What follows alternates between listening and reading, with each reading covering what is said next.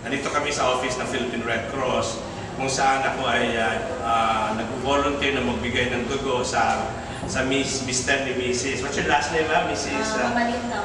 Mama Lintao. Earlier, uh, you have seen her husband at the Davao Medical School Foundation kung saan nag-apila kami ka ng Ventilator. ng parang ventilator, no? nangangailangan sila ng ventilator. So ulitin ko po no, na they are in need of a ventilator na gagamitin nila where they can transport the patient from Davao Medical School Foundation Hospital to uh, Sultan Kudarat uh, Provincial Hospital. So once again, yun po nakakaalam ng na mamahihiraman o marirentahan o uh, kung saan yung murang uh, merong uh, nagpapahiram ng ventilator, uh, nag, uh, kuhan, bigyan niyo po ulit na another number, cell number, kasi kanina yung sa anak niyo yung binigay. Anong cell number Ito niyo? dito yung cell number. Mm.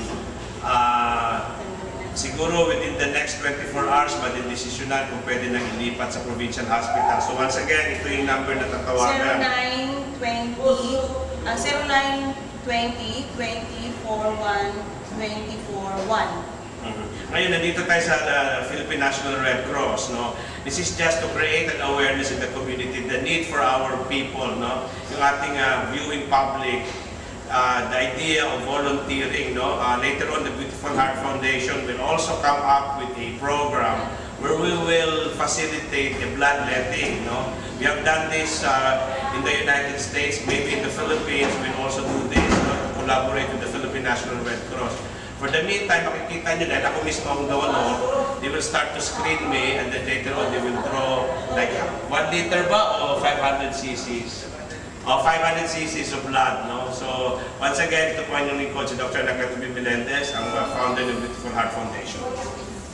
Tapos, ikuha, may focus mo yun. Ah, record na? Pasensya na, takot ako din sa karayom na to. eh. Oh!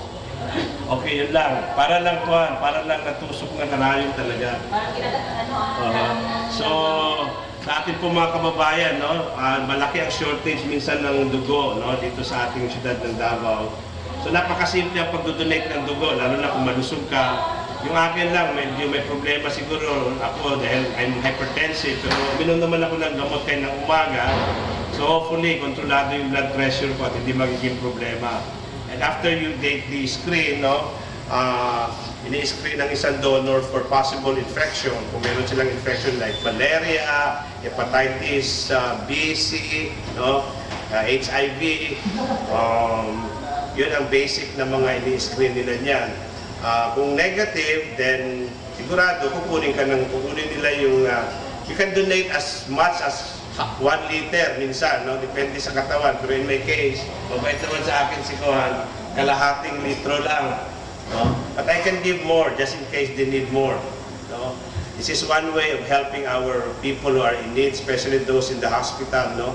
Uh, the best gift that you can give to your fellow man is the gift of life, no? which is blood. No? Uh, of course, yung tulong na pwede ninyong itulong in forms of money, your time, your talent, eh, wini-welcome din natin. But during extreme need uh, times of emergency, katulad nito, no? walang mahagilap na donor, and then I uh, realized that I am also type O. No? Usually, ang type O na tawag nating universal donor. Kahit anong, sa emergency, kahit na anong type yung recipient, yung pwede na yung uh, uh, blood type O. No? Especially kung uh, it's an, RH negative. But normally, Filipinos are RH positive. So, sana po, no, uh, we are able to educate our viewing public na uh, isa po nating uh, obligasyon yung tumulong sa mga taong nangangailangan, especially kung yung taong yun ay nasa extraction room ng Philippine National Red Cross in Davao City near Marco Polo. Napakalinis ng facility, no? Sabi ko nga, mukhang mas maganda pa kaysa facility sa, sa Amerika, no? Very comfortable yung higaan. So, a donor will not feel uh, discomfort or will not be uh, anxious because mukhang relax ang atmosphere, no? Though uh, the beds are colored red, but it just signifies that what you do here is actually to donate blood. No, you have to donate blood for free, no? Ay nang nagiging walang kabuluhan kung nagpapabayad tayo. So hopefully, ang ating mga kababayan ay magkakaroon ng pusang uh, um, pag magboboluntaryo na makapagbigay ng dugo, no? If you can do this at least once a year, no? Ang iba niyan, in-schedule nila, nila during their birthdays, no? One way of thanking God, no? By giving a, a, a half a liter or one liter of blood to somebody who will be needing your blood, no? Or otherwise, di natin malalaman in the future, baka kayo rin mga kailangan ng dugo, yung kamag-anak ninyo. It's nice that we are fully uh, fully supplied with blood at the Philippine National Red Cross. Most of the time, kinakapos, lalo na kung oras ng mga emergency, no? Ng, uh, especially yung mga dugo na medyo rare, no? Uh, blood uh, type B, AB, um, O, no? Uh, ang O is very common, pero yung blood type A or type B or type AB, yun ang medyo kinakapos sila. So, uh, make it a habit, no? Once a year or twice a year. Um, and it is a very good thing to do because medyo nare-rejuvenate kayo at the same time napapalitan ng bagong uh, red blood cells, no? Ano naman natin na uh, whether we like it or not, no? Talaga namang uh, nagpapalit ang ating uh, dugo, yung ating red blood cells every 3 months. Pero nas napapag, napapabilis kung if we really donate, no? Nag- Nagkakaroon ng bagong production ng uh, red blood cells. Importante lang, no, medyo malusog ang isang donor, walang sakit, walang nakakahawang sakit.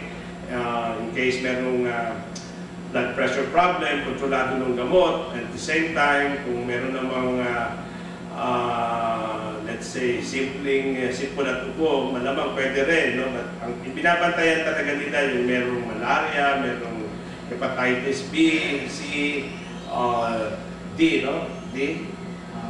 HIV. HIV, ah, o HIV, ah, yun lang naman tatlong yun siguro na hepatitis, malaria, and HIV. So ngayon, papakita namin sa inyo kung paano ang normal pag ah, bibigay ng dugo. Hindi nakakatakot, relax lang. Saan ba may pwesto? I have to remove my clothes. Oh. Uh, it will not take you long, no? Napakadali lang to. Ah, lalo na konti lang, konti lang hinihingi nila sa akin. I would be willing to give as much as 1 liter. Pero 500 lang yata. No? 500 lang should be okay. Um, depende, ah, standard naman yan.